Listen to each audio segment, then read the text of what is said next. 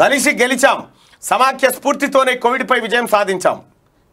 అదే స్ఫూర్తితో జిఎస్టీ వసూళ్ళు పెంచాలి. సాగులో జిఎస్టీ వసూళ్ళు పెంచాలన్నట్టు ఆగు వసూలు పెంచాలి కానీ మరి ఖర్చులు పెంచరా?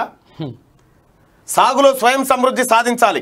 ట్రేడు టూరిజం టెక్నాలజీపై దృష్టి పెట్టండి. స్వదేశీ ఉత్పత్తులను ప్రోత్సహించాలి. వచ్చే ఇరవై ఐదేళ్ళకు ఇదే మన అజెండా. నీతి ఆయోగ్ సమావేశంలో ప్రధాని మోడీ మీ విధానాలను మాపై రుద్దొద్దు. మమత. ఉమ్మడి అంశాలపై రాష్ట్రాలను సంప్రదించాలి. పినరయ్ విజయన్ ఎంఎస్పీకి చట్టబద్ధత కల్పించండి అని చెప్పి మాన్ చెప్తున్నట్టు భగవంత్ మాన్ అడిగాడు. అందరు వచ్చారు విపక్షాలు అందరు ముఖ్యమంత్రులు ఎవరి రాష్ట్రానికి సంబంధించి.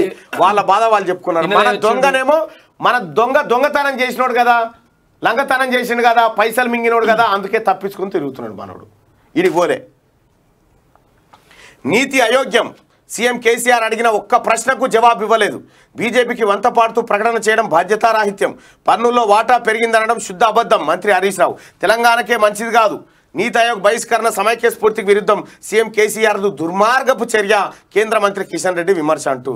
ఏం కేసీఆర్ను మీరు తిట్టాల్సిన పని ఏం లేదు. ఆయన ఆయన ఆయన ఆయన మాట్లాడితే తిడుతురు. వచ్చిండు ఆయన తుక్కును వస్తురు జనం.